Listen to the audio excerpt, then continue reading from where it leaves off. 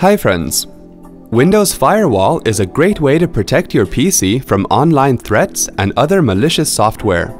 If you are looking for steps to set up the firewall settings on your Windows 7 PC, then here's how it's done. Click on the Start button at the bottom left of the desktop and type Windows Firewall in the search box. Click on Windows Firewall from the search result. On the left panel of the window that opens, click on Turn Windows Firewall on or off.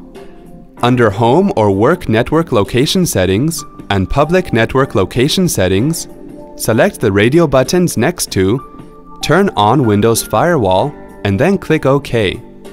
Now click on Allow a program or feature through Windows Firewall from the left pane.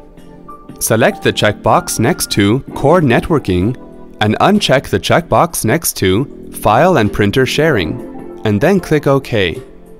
Now click on Change Notification Settings from the left pane. To customize the firewall settings under Home or Work Network Location Settings and under Public Network Location Settings, check the boxes next to Notify me when Windows Firewall blocks a new program, and then click OK.